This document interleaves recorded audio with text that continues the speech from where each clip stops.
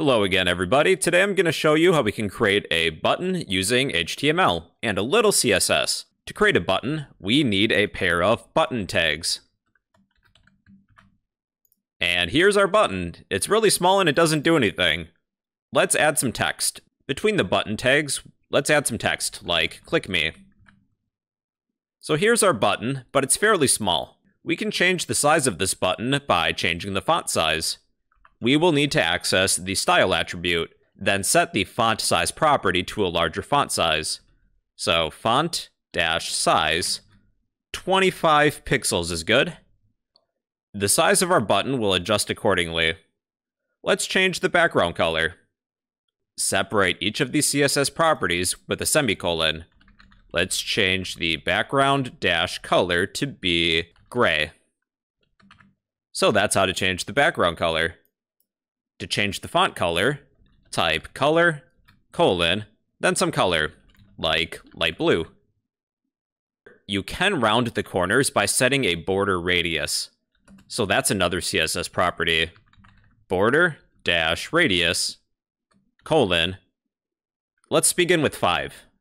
That will round the corner slightly. You can increase the amount of pixels for a more rounded border. Let's try 25. That's not too bad.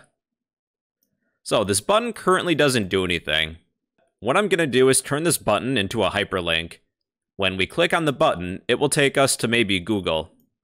We need to surround our button with a pair of A tags. I will set the href attribute equal to some URL, like Google. So when I click on the button, it takes me to Google. Or if we had another HTML file, we can go there too. I'll create a new HTML file named maybe page2, page2.html. Let's generate some HTML. In VS Code to do that, type an exclamation point, then tab.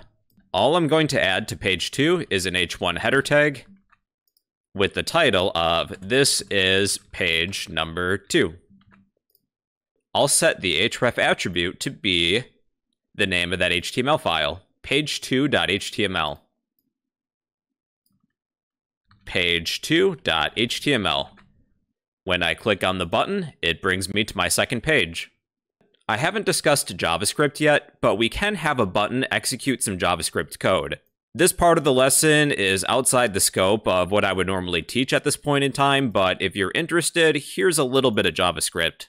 Again, it's not necessary to learn this at this level. If you would like to execute some JavaScript code using a button, we need a pair of script tags for JavaScript. Within this pair of script tags, I'm going to define a function. Function, you can come up with some function name. This function will do something. Then you need a set of parentheses, then a set of curly braces. Buttons have an on-click attribute we can have the button do something if it's interacted with. The onClick attribute is going to be the name of my function, do something.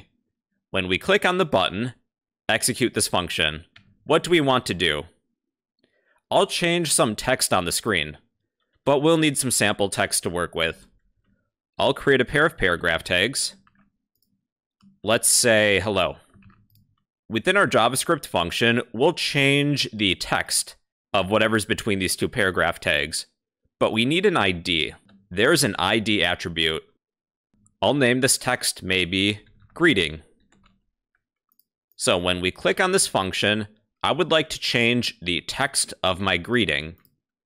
Within the function, we can do that with document dot get element by ID. Within the set of parentheses, the ID is greeting. Follow this with dot inner HTML. Then we can set this equal to some new value. Let's set the new value to be goodbye. Now, when I click on the button, it changes our text. So that's a button, everybody. You need a pair of button tags. You can apply some CSS styling. I haven't really discussed CSS yet, so we did inline CSS.